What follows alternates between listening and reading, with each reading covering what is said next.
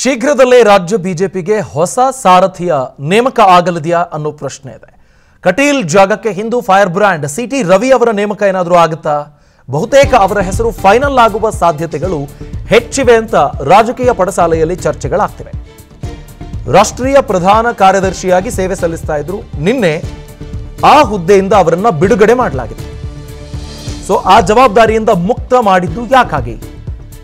ಮುಂದಿನ ವಾರದಲ್ಲಿ ಯಾವ ಕ್ಷಣದಲ್ಲಾದರೂ ಅಧಿಕೃತ ಘೋಷಣೆ ಆಗಬಹುದು ಅನ್ನೋ ಸಾಧ್ಯತೆಗಳಿವೆ. ನೂತನ ಅಧ್ಯಕ್ಷರಾಗಿ ಸಿಟಿ ರವಿ ಅವರ ನೇಮಕ ಆಗಬಹುದು ಅನ್ನೋದರ ಕುರಿತಾಗಿ ಸೂಚನೆಗಳು ಸಿಕ್ತಿವೆ ವಿಧಾನಸಭೆಯ ಹೀನಾಯ ಸೋಲಿನ ನಂತರ ಕಟೀಲ್ ಬದಲಾವಣೆ ಕೂಗು ದೊಡ್ಡ ಮಟ್ಟದಲ್ಲಿ ಕೇಳಿಬರ್ತಾ ಇತ್ತು. ಹೀಗಾಗಿ ಎಂಪಿ ಚುನಾವಣೆಗೆ ಸಮರ್ಥರ ನೇಮಕ ಮಾಡಬೇಕೆಂಬ ಚರ್ಚೆ ಆಗ್ತಾ ಇತ್ತು. ಲೋಕಸಮರ ದೃಷ್ಟಿಯಿಂದ ಬಿಜೆಪಿ ಅಧ್ಯಕ್ಷರ ನೇಮಕಕ್ಕೆ ಚಿಂತನೆ ಮಾಡಲಾಗ್ತಿದ್ದು ಸಿಟಿ ರವಿ ಪಕ್ಷದ ಆಯ್ಕೆ ಆಗಬಹುದು ಅನ್ನೋ ಬೆಳವಣಿಗೆಗಳು ಗೊತ್ತಾಗ್ತಿವೆ.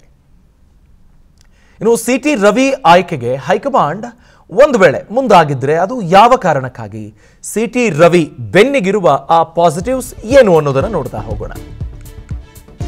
ಮಾಜಿ ಶಾಸಕ ಸಿಟಿ ರವಿ ಆಯ್ಕೆಯ ಹಿಂದೆ ಇರುವ ಲೆಕ್ಕಾಚಾರವೇನು? ಯಾಕೆಂದ್ರೆ ಇತ್ತೀಚಿನ, ಅಂದ್ರೆ ಎರಡ್ ಸಾವಿರದ ಇಪ್ಪತ್ತ್ ಮೂರರ ವಿಧಾನಸಭಾ ಚುನಾವಣೆಯಲ್ಲಿ ಹತ್ತತ್ರ ಆರು ಸಾವಿರ ವೋಟ್ಗಳಲ್ಲಿ ತಮ್ಮ ಆಪ್ತರ ವಿರುದ್ಧವೇ ಎಚ್ ಡಿ ತಮ್ಮಯ್ಯ ವಿರುದ್ಧ ಸೋತರು. ಒಕ್ಕಲಿಗ ಪ್ಲಸ್ ಹಿಂದುತ್ವ ಪ್ಲಸ್ ಪಕ್ಷದ ನಿಷ್ಠಾವಂತ ಕಾರ್ಯಕರ್ತ. ಆ ಕಾರಣಕ್ಕಾಗಿ ಯುವಕರಿಗೆ ಒಂದಷ್ಟು ಸ್ಫೂರ್ತಿಯನ್ನು ತುಂಬುವುದಕ್ಕೆ ಸಿಟಿ ರವಿ ಸಹಾಯಕ್ಕೆ ಬರಬಹುದು. ಅಂಡ್ ಮೋರ್ ಓವರ್ ಪ್ರತಿಪಕ್ಷದ ನಾಯಕರನ್ನ ಸಮರ್ಥವಾಗಿ ಎದುರಿಸ್ತಾ ಬಂದಿದ್ರು ಅನ್ನೋದು ಇದೆ. ಈ ಬಗ್ಗೆ ಡೀಟೇಲ್ಸ್ ಪಡ್ಕೊಳ್ಳೋಣ. ನಮ್ಮ ಪ್ರತಿನಿಧಿ ಸಂಜಯ್ ದೂರವಾಣಿ ಸಂಪರ್ಕದಲ್ಲಿ ಜಾಯ್ನ್ ಆಗ್ತಿದ್ದಾರೆ. ಸಂಜಯ್ ರೇಸ್ನಲ್ಲಿ ಬೇರೆ ಬೇರೆ ನಾಯಕರಿದ್ರು ಅನ್ನೋ ಹೆಸರುಗಳು ಚರ್ಚೆ ಆಗಿತ್ತು ಅಶ್ವಥ್ ನಾರಾಯಣ್ ಅವರ ಹೆಸರು, ಶೋಭಾ ಕರಂದ್ಲಾಜೆ ಅವರ ಹೆಸರು ಆದರೂ ಸಿ ಟಿ ರವಿ ಅವರನ್ನ ಆಯ್ಕೆ ಮಾಡಬಹುದು ಅನ್ನೋ ಬೆಳವಣಿಗೆಗಳು ಯಾಕಾಗಿ, ಸಂಜಯ್?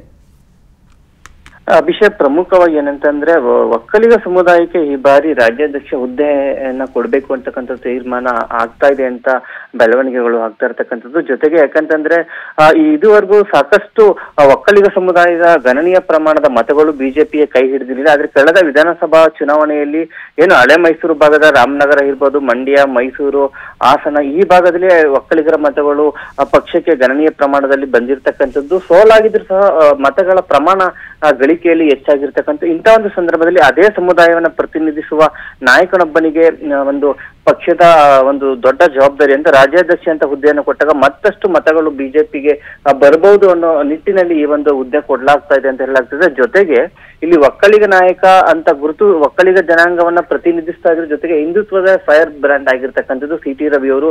ಇದು ಬಹಳ ಪ್ರಮುಖ ಯಾಕಂತಂದ್ರೆ ಬಿಜೆಪಿಯ ಬೇಸ್ ಇರ್ತಕ್ಕಂಥದ್ದೇ ಹಿಂದುತ್ವದ ಆಧಾರದ ಮೇಲೆ. ಹಾಗಾಗಿ ಹಿಂದುತ್ವದ ನಾಯಕ ಜೊತೆಗೆ ಒಕ್ಕಲಿಗ ಅಂತಕ್ಕಂಥ ಒಂದು ಕಾಂಬಿನೇಷನ್ ಜೊತೆಗೆ ಹೊಂದಾಣಿಕೆ ರಾಜಕಾರಣ ಮಾಡಿಕೊಳ್ಳದ ನಾಯಕ ಅಂತಂದ್ರೆ ಅದು ಸಿ ಟಿ ರವಿ ಬಿಜೆಪಿಲಿ. ಯಾಕಂದ್ರೆ ಹಲವಾರು ನಾಯಕರ ಮೇಲೆ ಹೊಂದಾಣಿಕೆ ರಾಜಕಾರಣದ ಆರೋಪ ಕೇಳಿ ಬಂದಿತ್ತು.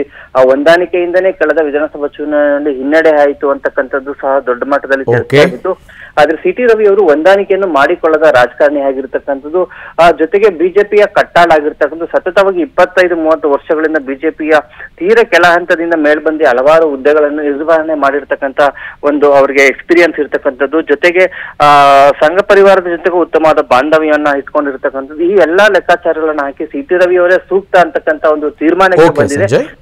ಈ ಒಂದು ನಿಟ್ಟಿನಲ್ಲಿ ಅವರಿಗೆ ಬಹುತೇಕ ಒಳಿಬಹುದು ಈ ಒಂದು ರಾಜ್ಯಾಧ್ಯಕ್ಷ ಹುದ್ದೆ ಅಂತ ಆಗ್ತದೆ. ಅಂತಿಮವಾಗಿ ಹೈಕಮಾಂಡ್ ಯಾವ ನಿರ್ಧಾರಕ್ಕೆ ಬರುತ್ತೆ ಅಂತಕ್ಕಂಥದ್ದನ್ನ ನಾವು ಸಹ ಕಾದ್ ನೋಡ್ಬೇಕಾಗಿರ್ತಕ್ಕಂಥದ್ದು Abhishek. Thank you Sanjay. Vistara news ನಿಖರ ಜನಪರ.